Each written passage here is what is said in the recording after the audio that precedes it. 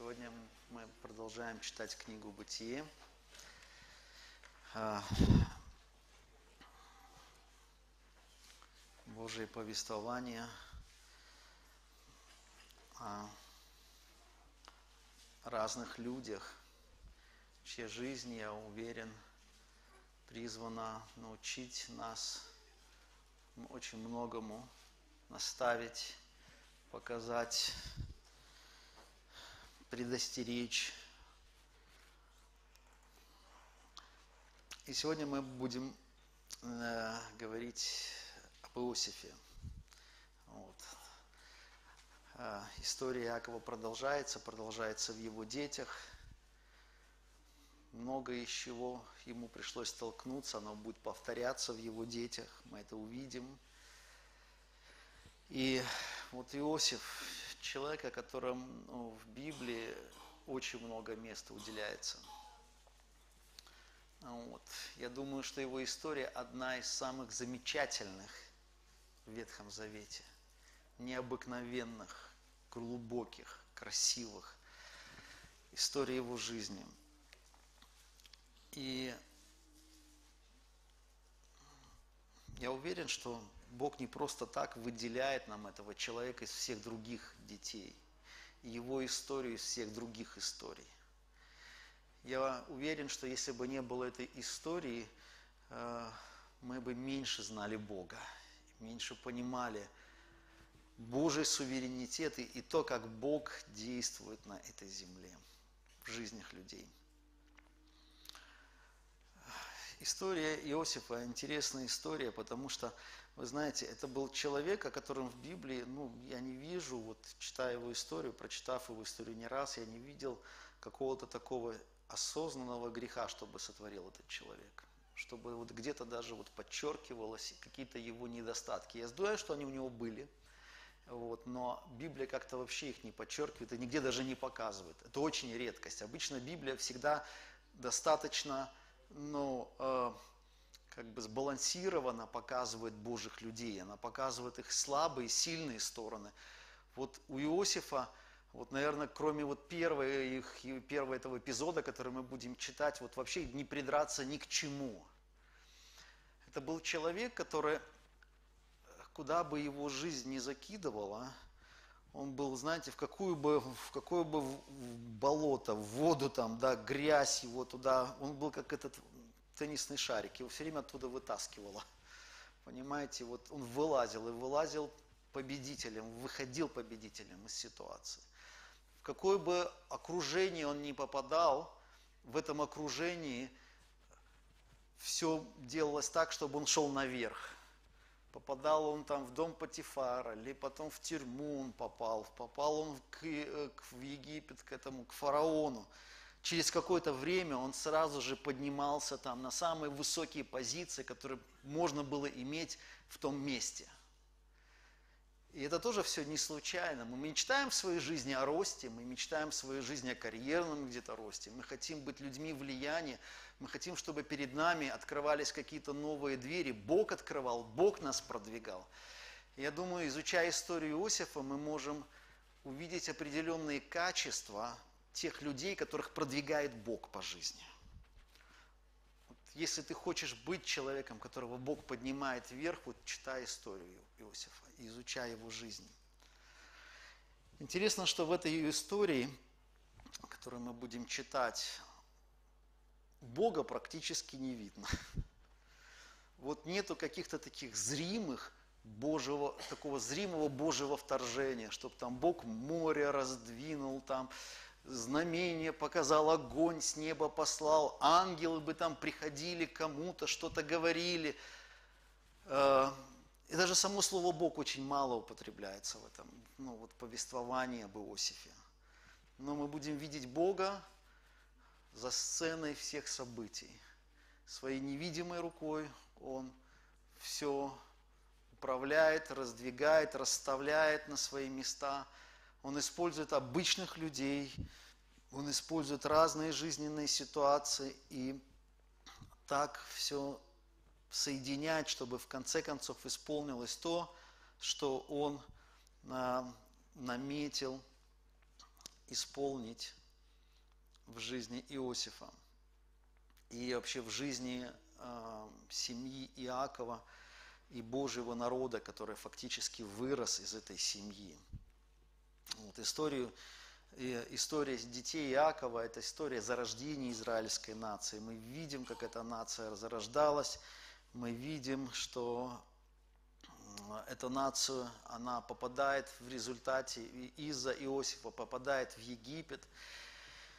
И еще Бог через его прадеда Авраама сказал, а, пророчество Авраама однажды, вот Бытие 15 глава, что знай точно, 13-14 стих, что потомство твое будет скитаться на земле сей, и будет там рабами, и будут страдать 400 лет – но я произведу суд над народом, которому они пойдут служить. И после этого выйдут они оттуда с большим имуществом. То есть еще когда не было Иосифа, вот, еще, я не знаю, Яков родился в это время или нет, ну вот, не помню уже, да, Авраам, Авраам у Бога получил это слово, а, слово о будущем, да, будущем вот своей семьи, своего народа что он однажды перейдет в Египет. И там вот э, будут 400 лет и вернуться оттуда с большим имуществом. Мы видим, как в этой истории, мы видим, насколько кризисной была семья Иакова, насколько она продолжала, можно сказать, где-то деградировать. И может быть, именно из-за того, что она сама, знающая Бога, встречающиеся с Богом, видящие чудеса Божии. А, в этой семье много в ком царствовал грех. Люди позволяли этому греху быть. Яков ничего не мог с этим сделать. Да? Может быть, это одна из причин, почему Богу пришлось на 400 лет фактически поместить эту семью в Египет, а потом еще на 40 лет поместить их в пустыню, да, прежде чем вернуть в обетованную землю. И мы читаем потом, как э, Господь во второзаконии говорил, что я вас вел в пустыне, я вас в Египте, да, я вас питал манной, чтобы смирить вас, чтобы показать вам самим, что есть в вашем сердце, да, чтобы вы увидели, чтобы вы осознали, поменялись. Вы знаете, что вот все эти истории, на самом деле, они тоже Призваны не то, чтобы показать, что было в сердце Иакова и его сыновей. Я уверен, что эти истории, они также призваны показать нам, что есть в нашем сердце. И мудрый человек, изучая историю э, Божьих людей, о которых Бог говорит в Библии, он, э, он будет из этой истории делать выводы. Э, он будет как-то сравнивать, соизмерять с собой, а вот я вот в этой истории как бы себя повел, а что бы я делал бы, и как бы я реагировал, а на кого я больше похож в этой истории. И, э, и размышляя, да, соизмеряя с собой, мы можем где-то меняться, да. Если не будем меняться, наша жизнь будет нас учить, но мы все равно будем меняться если мы избраны Господом, Господь избрал, призвал нас. Вот. Мы видим историю Иакова, мы видим э, историю его братьев, э, Иосифа, мы видим, как каждый из них реагирует на трудности в жизни. Вы знаете, очень часто, когда мы сталкиваемся с трудностями и потом себя ведем неадекватно, ну, например, там, бунтуем, ропщим, кричим, проявляем недовольство, часто мы видим причину всего – в других людях. Вот. Иногда человек лгет другим, верующие могут очень легко лгать, обманывают, воруют, там, э, грешат в разуме, там, да, и часто они, когда эти вещи происходят, вот я замечаю, что ну, мы, мы, мы такие же люди, как и в Ветхом Завете, знаете, как та же Ева, Адам, который вот согрешили, Бог сказал, что ты делаешь вообще, да? Нам так, мы так склонны к тому, чтобы э, причину своих неправильных поступков, своих поведений видеть в ком-то другом. Да? Вот они, вот он, вот Бог, ты мне дал такую жену или там еще кого-то.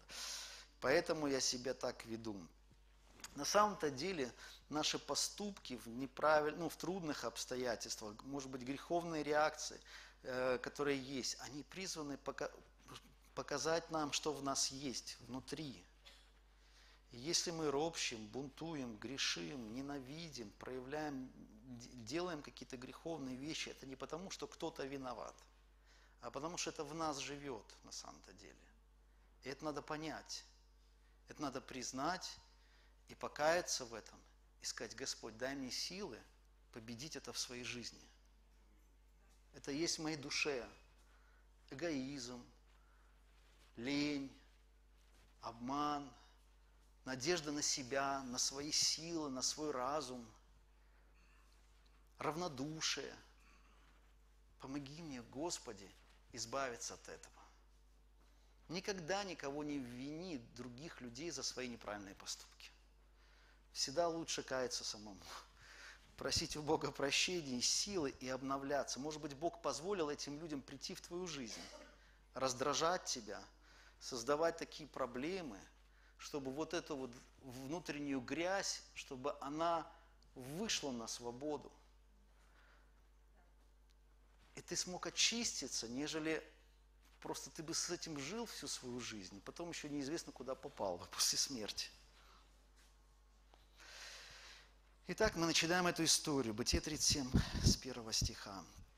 Яков жил в земле странствования отца, в земле ханаанской, и вот житие Иакова. Иосиф 17 лет, так ему было 17 лет.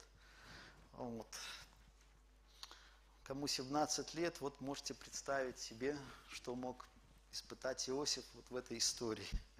Знаете, мы когда читаем эту историю, нам, нам уже кто ее слышал, видел в воскресной школе, ее изучали, фильм, может, смотрели, потрясающий фильм «Жизнь Иосифа», посмотрите, в интернете его можно скачать.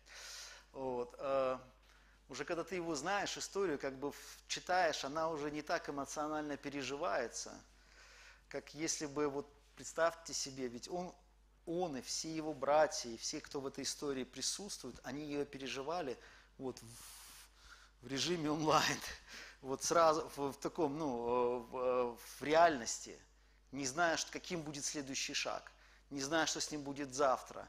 Ну, вот. Они испытывали реальные чувства, а, от всего того, что происходит. Итак, Иосифу было 17 лет, он пас скот вместе с братьями своими, будучи отроком, сыновьями Валы, сыновьями Зелфы, женами отца своего. И доводил Иосиф худые о них слухи до отца их. Израиль же любил Иосифа больше всех сыновей своих, потому что он был, э, это был сын старости его, и сделал ему разноцветные одежды. И увидели братья его, что отец их любит э, больше всех братьев его, и возненавидели его, и не могли говорить с ним дружелюбно. Итак, мы видим да, дисфункциональную семью, мы видим э, проблемные отношения между детьми, все это следствие, знаете, проблемных отношений между женами. У Иакова было четыре жены, никогда не будет счастливой жизни тех, у кого четыре жены. Вот, это, это однозначно. Ну вот. И вот мы, мы, мы видим проблемы, и мы видим здесь фаворитизм, мы видим, что отец любит а, больше Иосифа. И вот интересно, что он не сделал выводы из своего собственного детства, когда он жил в детстве, он жил э, вместе со своим братом, Иаков жил с Исавом, и написано, отец любил Исава больше, чем Иакова. Понимаете? И он знал, что такое чувствовать себя в семье, где папа любит брата больше, чем меня – и вот он, знаете, не сделал эти выводы, вот не разобрался с кризисами своего детства, не разобрался со своими ранами своего детства. И тот, кто не разобрался с этими ранами, ему, он, он может эти раны, такие же вещи потом повторять в своей жизни дальше.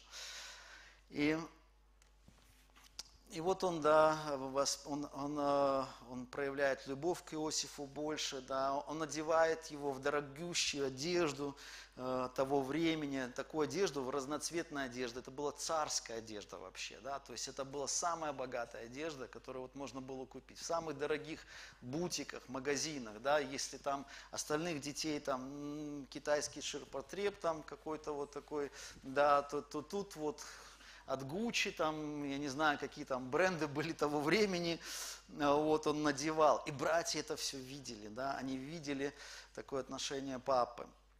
И э, более того, вот он здесь он, э, написано, что а, он э, доводил худые слухи об, о том, что делали братья. Я не знаю, как вы к этому относитесь, как молодежь к этому относится, да? когда кто-то кому-то доносит худые слухи о том, что делают другие люди. Да? И некоторые служения боятся иметь детей пастора в своих служениях, потому что э,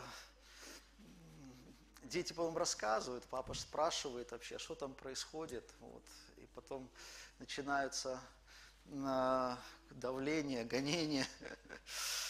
Э, и вот он рассказывал о ходых слухах, да, правильно он это делал или нет, как вы думаете? Видите, даже здесь у нас разделились мнения. Да. Да, правильный ответ – да и нет. Да, нет. Смотря какие слухи. Да. Да, смотря с каким сердцем, тоже, кстати, хорошая да, мысль, Анатолий.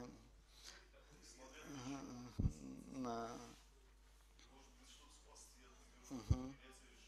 Я не знаю, знаете, Библия не говорит здесь, что конкретного он говорил и с каким это сердцем, а, но а, а, что слово, которое худые слухи, да, в, в, в иврите, это слово, которое означает, что плохие вещи, которые вот происходили с ними, то есть то, что они делали неправильного. Это не были просто худые слухи, то есть какие-то неправильная информация. То есть это была информация о неправильных вещах, о злых делах, которые делали братья.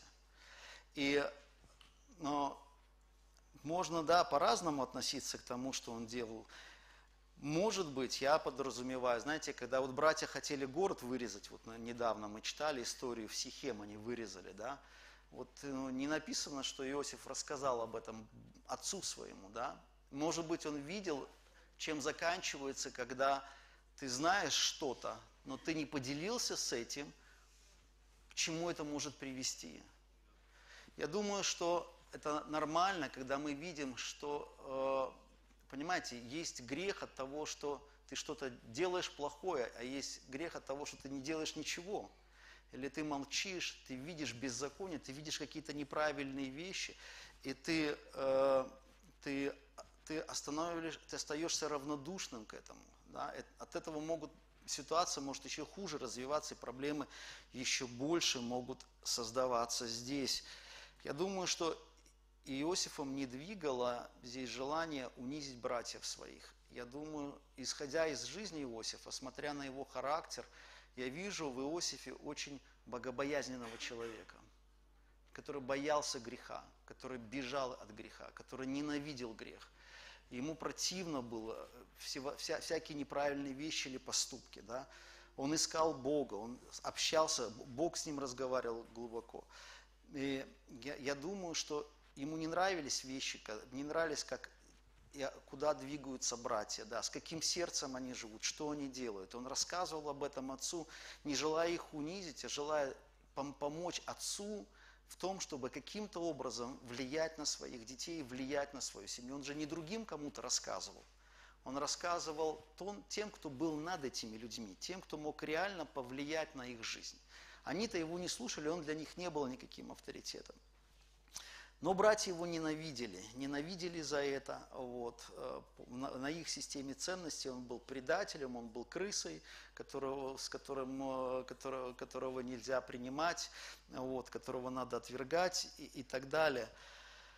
И, э, и вот еще тут добавилась одежда, которая, знаете, папа тут о нем столько ему дает, покупает, а, а этим не дает, не покупает, и все, и знаете, обида. Ну, вот. Хотя то, знаете, уже этим детям было под 40 лет с лишним. То есть это уже не дети были, понимаете? То есть это уже были... А? Пока, все равно, пока родители живы, все равно, да. То есть иногда, понимаете, люди в 40 лет могут также завидовать, также э, расстраиваться, а также ненавидеть. Если с какими-то вещами мы не разбираемся, понимаете, вот человек не разобрался с завистью, он и в 60 лет будет завистником. Понимаете, с этими вещами нужно в своей жизни разбираться. Чем раньше ты разберешься, тем меньше ты шишек на голове получишь, тем меньше проблем, головной боли у тебя будет в жизни, чем выше тебя может поднять Господь. Нам кажется, что вот я живу, вот в моих мыслях какие-то там вот зависть, непрощение, недовольство, бунт, ну, а, обман, лицемерие. Это ничего, я же никому ничего плохого не делаю. На самом деле ты сам себе плохое делаешь. Ты сам себе на шею петлю вешаешь. Ты сам себя перед собой выстраиваешь стену, через которую ты не можешь пройти. Между собой Богом выстраиваешь потолок, который ты молишься, а молитвы не идут туда наверх.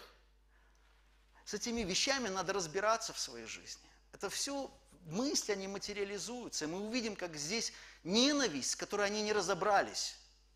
Вот это неудовлетворение, да, зависть к своему брату, они не разобрались с этими мыслями, оно привело к тому, что они готовы были убить его. А за что убить? Он что, изнасиловал их там, украл у них что-то? Несправедливость. Несправед... Стукачей не любят, да? Все в комплексе.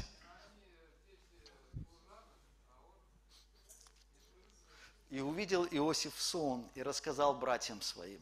Тут еще сон добавился, понимаете? Одно дело одежда, другое дело рассказывать, а тут еще сон – и рассказал братьям своим. А они возненавидели его еще больше за это. Не рассказывайте всем свои сны. Или то, что Бог открывает вам о вашей жизни. Не всем это надо говорить. И сказал им, выслушайте сон, который я видел. Вот мы вяжем снопы посреди поля. И вот мой сноп встал и стал прямо. А вот ваши снопы стали кругом и поклонились моему стопу. Снопу. Да. И сказали ему братья, неужели ты будешь царствовать над нами? Неужели ты будешь владеть нами? И возненавидели еще более за сны его и за слова его. И видел он еще другой сон. И рассказал его братьям своим, говоря, вот я видел еще один сон, солнце, луна и одиннадцать звезд поклоняются мне. Я не знаю, как, конечно, звезды могут поклоняться, что он там видел во сне, но 11 звезд, у него было 11 братьев, да, и э, этот самый солнце, луна, это вот папа и мама был прообраз. Там все сразу все поняли. Понимаете? Да, все были сразу, смогли истолковать этот сон. Кстати, видите, как сны приходят? Они часто приходят как символы. Они не всегда приходят как что-то такое вот, ну, может быть, как реально. Но Бог может говорить нам через символы. И надо уметь понимать, трактовать эти символы. И он сказал отцу своему и братьям своим, и побронил его отец его и сказал, что это за сон, который ты видел? Неужели я и мать твоя э, а, скорее всего, Ревека еще жила в тот момент времени, и жил еще, э, жил еще их дед Исаак, потому что здесь Писание больше так тематически расположено. Вот. Еще Иаков не похоронил своего отца и Ревеку в этот момент времени. Вот. Что э, и мать твоя, и твои братья, придем и поклонимся тебе до земли. Братья его досадали на него, а отец – все-таки заметил это слово. Там, отец, вот хоть ему не нравилось, что он, Иосиф рассказывает, но он, он это слово для себя сохранил, потому что однажды он тоже видел сон, когда он убегал от своего отца, и в этом сне он видел лестницу в небо идущую, Бог, который говорил с ним, он понимает, что Бог говорит через сны. И здесь, видите, сон повторяется два раза. Мы потом увидим, что Бог дал фараону два сна разных, но они имели похожий смысл. И когда два похожих сна происходят э, по смыслу, скорее всего, это точно, это сто процентов говорит Бог. Поэтому Иосиф уже не мог молчать, он делился этими сновидениями, вот, но было, наверное, не мудрость делиться с теми, кто его и так уже его не принимал, не любил, ненавидел. А это еще, еще больше вызвало ненависти э, со стороны братьев. Если Ребека, знаете, когда она получила от Бога откровение, что младший будет над старшими господствовать, то она прилагала все усилия, знаете, там и готова была мужа своего обмануть, там подставить ситуацию, обмануть своего сына, чтобы только вот исполнить то, что она увидела вот в этом, ну, то есть в это откровение от Бога. То здесь братья, понимая, что скорее всего здесь что-то необычное, они наоборот, мы, мы увидим, их желания были совершенно противоположными желаниями Ревеки. И, и они потом э, сказали, что вот мы сейчас посмотрим, да, сновидец, что с тобой будет, да, вот исполнится это или не исполнится, да, и такой план разработали. И они думали разработать план, который остановит Божий план. А в итоге их план – стал исполнением Божьего плана, да? Может, хорошо, что рассказал? Вот и подумайте, понимаете, сон стал триггером всех остальных событий. Триггером ненависти, триггером вот того, что отец потерял своего сына, братья предали, готовы были убить своего брата. Вот. Но в то же самое время этот сон, он стал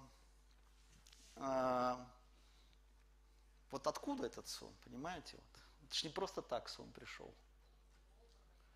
Этот сон дал Господь. И Бог уже заранее видел, как все будет происходить и что будет происходить.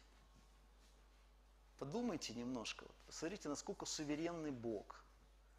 Видите, нам кажется, Божьи пути, это все вот, человек, если он идет Божьими путями, его жизнь должна быть очень гладкая, без проблем, без катастроф, без потрясений, без предательств, без эмоциональных переживаний, без физического абьюза там и так далее. Вот все, что было, ну, это все было у Иосифа. Каким мы представляем нашего Господа, да? Какими путями Он ведет каждого из нас. Понимаете, скрытая Божья рука, вот понимаете, здесь люди творят грехи, вот у Бога есть свои планы, у людей есть свои планы. Люди творят грехи, но Бог, Он настолько суверенен и всемогущ, что Он может свои планы брать и даже используя человеческий грех, привести к тому, что все равно все довести до той точки, которую Он хочет, чтобы произошло. И Бог не зависит от того, насколько сильные люди – насколько сильные обстоятельства, насколько страшна ненависть кого-то, или тот ужасный ров, в который он упал. Мы будем говорить о нем дальше. Бог способен, Бог суверенен, Бог всемогущ. Говорит ли к нам Бог сегодня во снах? Говорит ли к вам Бог сегодня во снах?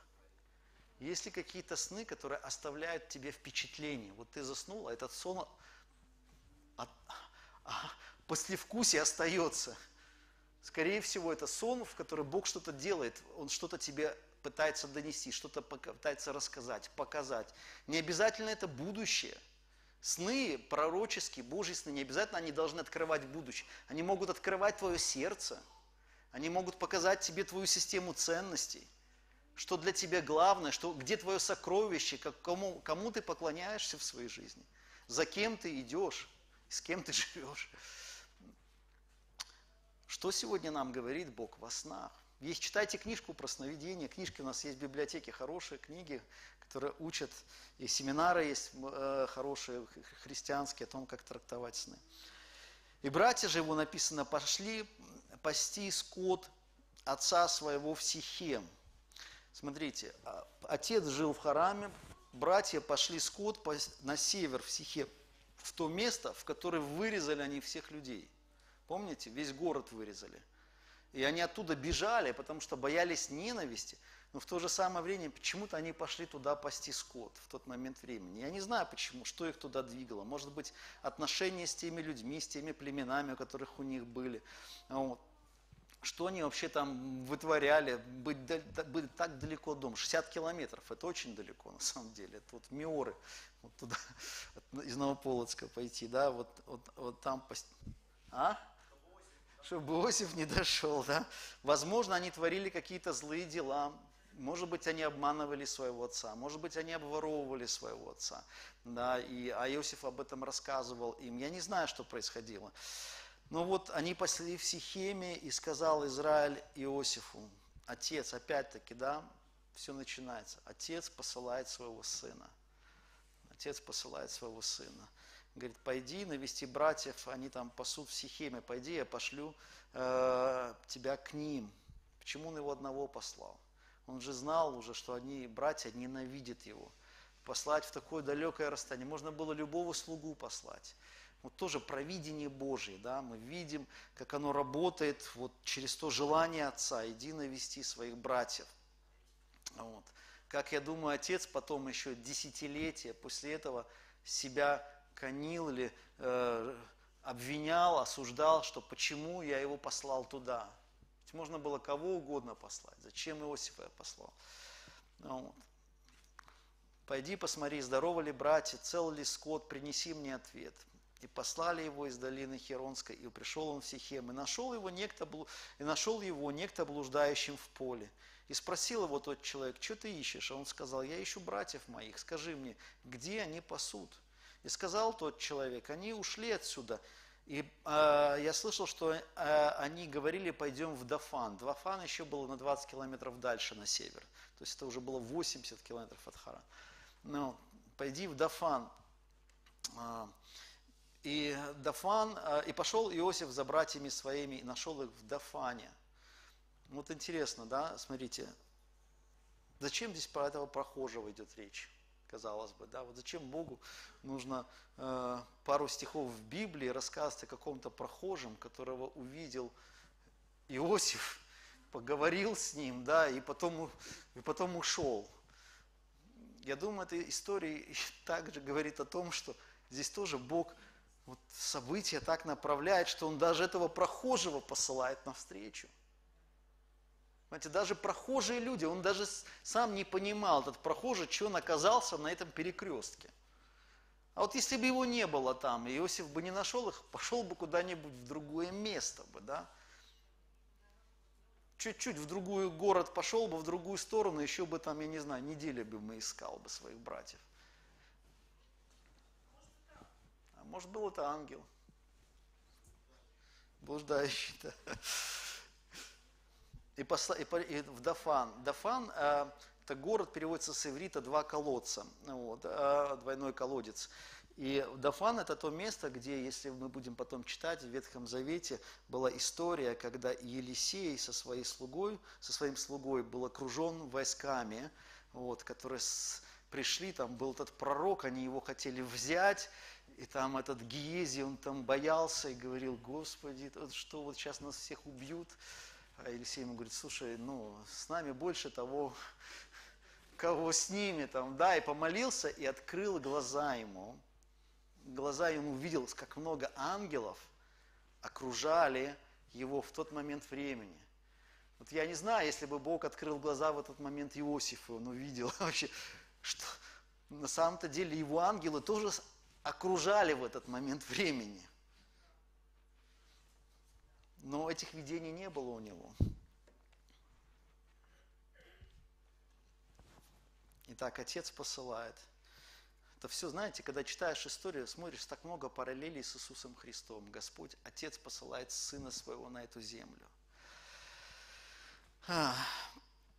«Сей Сын мой возлюбленный, в котором мое благоволение». Так сказано было о Христе. «И увидели его издали, братья», 18 стих, «прежде нежели он приблизился к ним, и стали умышлять против него, чтобы убить его». Когда Иисус пришел, тоже начал творить Божье дело, собралась уже группа людей, которая начала замышлять, как бы его убить. И сказали друг другу, вот идет сновидец, да, специалист по снам, вот, «Э, пойдем теперь и убьем его. Представляете себе, братья, вот они сидят, видят издалека красивая одежда, яркая, да, навстречу двиг, движется, вот идет этот сновидец. Вот, да, нашел все-таки нас. Пришел, чтобы посмотреть, что мы тут делаем, чтобы потом папе рассказать.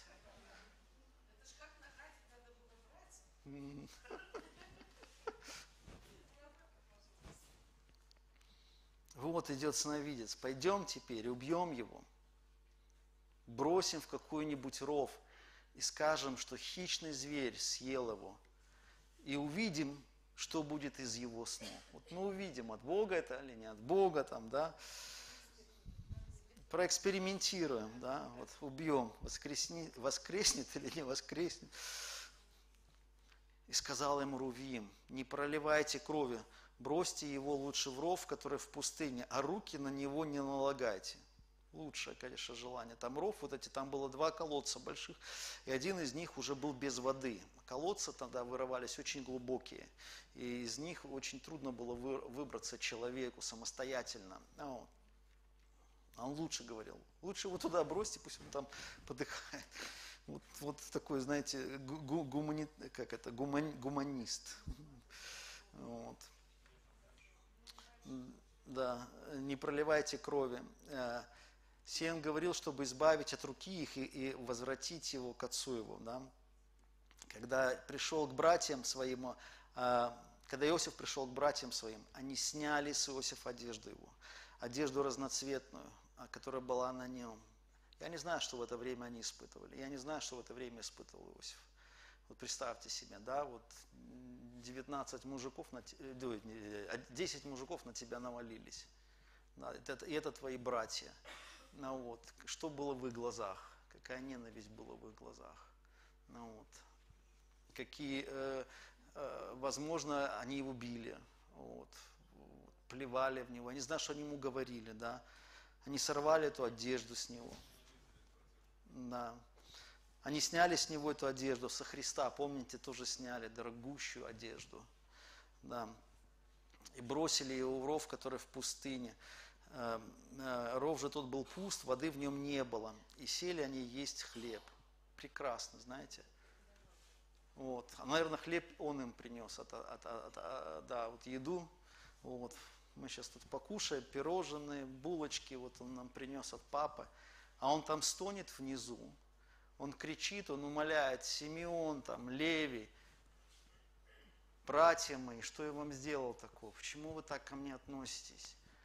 Простите меня там, да, если я что-то не, я не знаю, что он там им говорил, да, вытащите меня отсюда, мне холодно, у него сняли одежду, возможно, он там голым лежал, понимаете, в этой, в этой яме, там холодно было, сыро, холодно, грязно –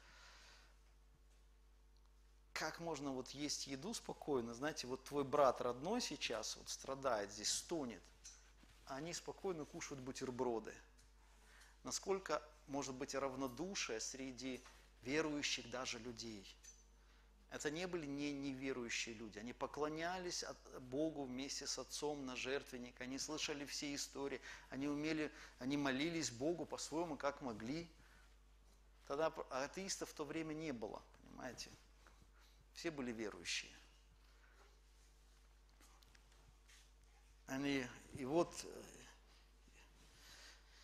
и вот они сели есть хлеб, и взглянув, увидели, идет из Галада караван из малитян. Опять мы видим суверенный Божий план. Смотрите. А если бы этот караван шел чуть-чуть километр левее или километр правее, а если бы этот караван начал двигаться на день раньше или на пару дней позже – Понимаете? Представьте себе, ведь этот караван двинулся вот не из соседней деревни, он, возможно, уже тоже неделями где-то двигался. Он мог где-то остановиться на день-день, больше задержаться. Да? То есть эти все события Бог включил, знаете, много вещей, вот они включились и включались одновременно, и Бог вот Он их направляет. Даже неверующие люди, они являются участниками исполнения Божьего плана – И вот они идут. А, вы видели, вот из Галада идет караван из мальнитян, и верблюды несут э, стираксу, бальзам, ладан. Вот они отвезут это в Египет. И сказал Иуда братьям своим, что польза, если мы убьем брата нашего и скроем кровь? То есть не вопрос, вот, ну, что пользы, вот, убьем или не убьем, а здесь вот, ну, э, говорит, лучше продать его, хоть заработаем на этом, понимаете, вот. Насколько на, вот, вот система ценностей. Они считали его недостойным жизни. Они считали его там, ябеда, я не знаю, кем они его считали, там, да, каким-то, вот он, ну, то есть в, его, в, их системе, в их системе ценностей он занимал очень низкую планку. Да. Стукачок. Но при этом вот убить брата, это нормально. То есть убрать стукача это лучше, чем э, быть стукачом, да? То есть это более праведное дело. Справедливость восстановили. И сказал Иуда братьям своим, что польза, да, что мы убьем брата нашего, скроем кровь его. Пойдем, продадим его измальтянам, и, а руки наши да не будут на нем, ибо это брат наш, плоть наша. Ну и братья его послушались. И когда проходили купцы мадиамские, вытащили Иосифа из рва и продали Иосифа измалинитянам за 20 серебряников. Вот Иисуса за 30 продали, да, серебряников. И они отвели Иосифа в Египет. Рувим же пришел опять к рву, и вот нету Иосифа э, во рве, разодрал он одежды свои, и возвратился к братьям своим и сказал, отрока нет, куда я денусь. Вот такая вот история, да. Старший был Рувим. Он как раз переспал накануне, мы читали, с, с одной из жен своего э, отца, и он был ненавистным отца. Возможно, знаете, вот как он совершил такой грех против отца, отец уже не хотел, чтобы первенство передавалось Рувиму. А следующие за Рувимом братья, они отвечали за эту резню в Сихеме. И, возможно, им тоже отец не хотел передавать первенство, возможно, он хотел передать первенство Иосифу, поэтому он его так одевал, он выделял его одеждой. Потому что остальные дети, сыновья, это были дети уже наложниц. Может быть, он хотел таким образом подчеркнуть первенство в, э, в их семье. Мы не знаем до конца вот э, всего того, что творилось в сердце Иакова. Но тем не менее, мы видим здесь зависть, видим здесь зависть, мы видим здесь неприязнь, мы видим здесь э, ненависть по отношению, э, по отношению к брату. Вы понимаете, что вот Иисус сказал, некоторые люди вот считают, что вот я никого не убил, поэтому я никого, то есть я, я, я безгрешный, там, да, или я ни у кого не не, э, не это самое, не, ничего не забрал там, да, и поэтому я не вор. А ведь Иисус, помните, Он сказал в Нагорной проповеди, что тот, кто ненавидит брата своего, тот есть человека-убийца. То есть Иисус поставил знак равенства. То есть человек просто ненавидит, он не, не выносит других людей, он позволяет чувству ненависти жить в себе, чувству отвержения других людей – вот мне человек противен, он позволяет вот этим мыслям противным быть внутри себя. Ну, вот, он не разбирается с ним, тем более, а это был брат-то его. Иисус сказал, кто, кто посмотрел на женщину с вожделением, кто позволяет в своем разуме фантазировать, сексуальные фантазии иметь, тот уже то же самое, это равнозначно, прелюбодействует.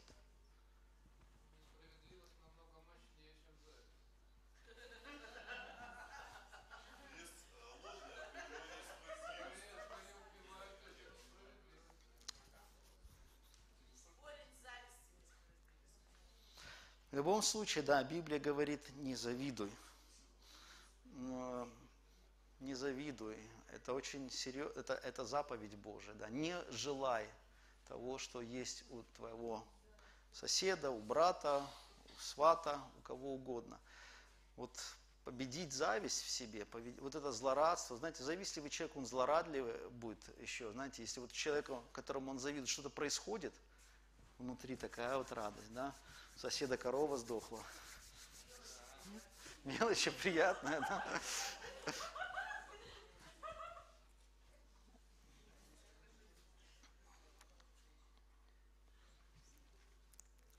Нам надо разбираться с этими чувствами. Однажды про одного монаха рассказывали, он себе выбрал самую ужасную келью в монастыре, самую холодную, самую страшную.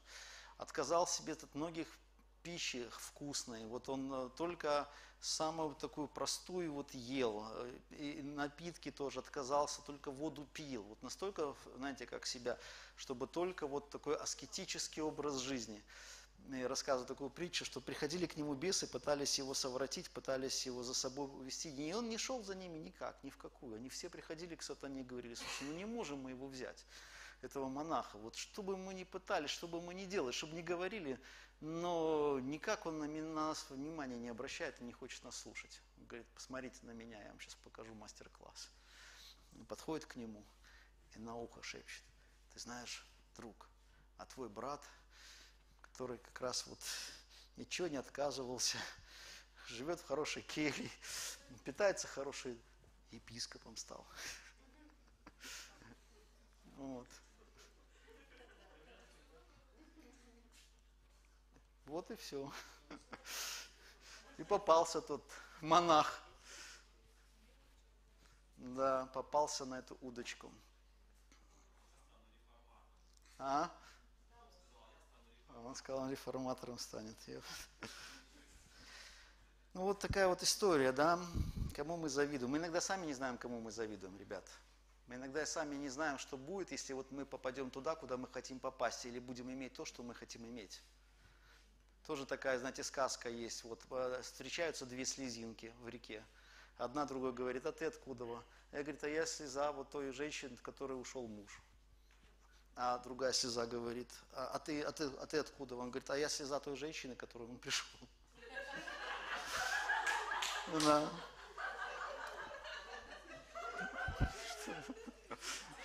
Десятками. Не знаю, понимаете, я к тому, что надо разбираться со своими желаниями, неправильными мыслями. Ребята, мышление это, это то, из чего наша жизнь потом будет складываться. Наши мысли будут материализоваться. Если мы позволять будем греховным мыслям в нас пребывать, они могут очень много проблем создать в нашей жизни. Лучше на уровне мысли разбираться с грехами – и взял одежду Иосифа, написано, и закололи козла, и выморали одежду кровью, и послали э, разноцветную одежду, и доставили к отцу своему, и сказали, мы нашли ее, посмотри, не отца ли одежда. Помните в свое время Иаков? Он использовал одежду своего брата Исаава, чтобы обмануть отца. Он использовал тоже козленка, там надо было убить козленка, приготовить еду, чтобы ну, э, обмануть отца. И вот братья здесь то же самое делают. Смотрите, а Иаков пожинает то, что он сеет. Почему нельзя грешить? Я учу своих детей, ребята, если ты будешь обманывать, вас, вас, вас, тебя будут обманывать другие люди. И это будут жесткие подставы. Если ты что-то своруешь, у тебя будут воровать. Если ты будешь делать какие-то неправильные вещи, это все назад вернется в твою жизнь. И это может еще и приумножиться, и быть больше. При этом Бог будет тебя любить. Бог будет с тобою, Бог будет тебя благословлять, ты его сын. Но Он будет тебя учить таким вот образом. Если ты будешь лицемерить, с тобой будут лицемерить. Лучше этого не делать, потому что Божьи законы, у них нету, знаете, любимчиков. Вот с одними на одних они действуют, на других не действуют. Срока давности, да. Закон синей жатвы может остановить только покаяние, настоящее раскаяние перед Богом. А вот, э, за то, что произошло, осуждение этого греха в себе. И узнал он и сказал, эм, что одежда сына моего, э, это хищный э, зверь съел его, верно растерзан Иосиф и разодрал Иаков одежды свои и э, возложил в на чресла свои и оплакивал сына своего многие дни. Ну вот. Фактически он оплакивал до самой новости, пока он не узнал, что он жив. А это десятилетие. То есть он жил в обмане. То есть его обманули, и этот обман влиял на, на протяжении многих лет в его жизни, на его душевное состояние. На, он почувствовал, возможно, на себе, вот, что его отец чувствовал и другой брат, когда его обманули. Э, и собрали все сыны его и дочери утешать его, но не могли утешить и сказать, вот с печали сойду я к сыну моему в преисподней. Оплакивал его отец. А мадианитяне же продали его в Египте Патифару, царедворцу фараонову, начальнику телохранителей. А там все только начинается. Да. Вот так заканчивается эта глава. Так заканчивается эта глава. Вестнинский авторский катехезис – это такой, знаете, собрание вероучений, протестантская такая вот основа. Она говорит, Божье дело провидения – это Его святое, мудрое, могущественное сохранение и управление всеми Его созданиями и всеми их действиями. Это есть Божье провидение, да? управление и сохранение своими созданиями, их действиями. Бог участвует. Бог, Божье провидение, оно сегодня также работает в жизни верующих людей, как в жизни Иосифа. Она работает и в нашей жизни. Понимаете, конечно бы, если бы Иосиф видел всю картинку пазлов в своей жизни, ему, наверное, было бы легче во всех этих этапах. Хотя Бог, смотрите, его подсказывал. Я думаю, что те сны, которые видел Иосиф, они были в первую очередь для него. Они были для него, чтобы его поддержать, чтобы ему сказать, что Бог под контролем, все закончится, закончится даже, ты не представляешь, как хорошо. Ну, вот, Бог, Бог его поддерживал, Бог ему по, по, ну, заранее предупреждал, готовил его к этому. Но он, у него еще это всей картинки не было. И у нас тоже, знаете, всей картинки нашей жизни пазлов нету. Вот. У нас есть просто разные маленькие такие кусочки пазлов, мы их пытаемся складывать, даже что-то получается, мы до конца не понимаем, а что там стоит за всем. Вот. Но в конце концов, он, в конце жизни он увидел эту картину. И потом он сказал своим братьям в 50 главе, что вы знаете, что вот вы замышляли против меня зло, а Бог, Он сумел это все обернуть в добро. Любой из нас, кто следует за Богом, проживает жизнь, вот, которая будет тоже запутанной. Не всегда все будет понятной. На... Да, телефончик, уже все, надо. Да. да. Заканчивать.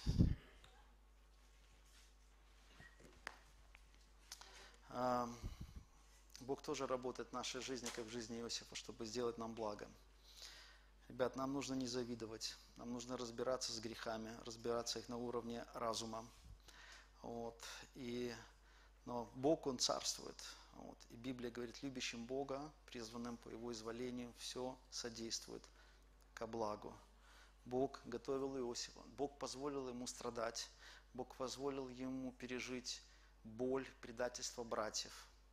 Вот это время, когда он был в этой яме страшной, да, и когда братья тут же пировали, я не знаю, что он чувствовал. И ему, конечно, можно было, знаете, впасть вот в это состояние, знаете, как синдром жертвы.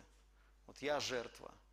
Потом жить с этим синдромом еще десятилетия или столетия. Некоторые люди живут с такими синдромами с ними произошло что-то 10 лет назад или 20 лет назад, они до сих пор считают, что моя жизнь сегодня такая, потому что вот 20 лет, 10 лет назад что-то произошло. Кто-то что-то сделал, кто-то что-то сказал, так повернулся и так далее. Вот что мне нравится с Иосифом, вот он не страдал синдромом жертвы. Конечно, ему было больно, конечно, ему тяжело. Но мы видим, как он продолжает жить с Богом, продолжает служить, продолжает жить святой жизнью – Вне зависимости от того, что его братья предали, да, его Бог не предал, и он ходит перед Богом своим в чистоте.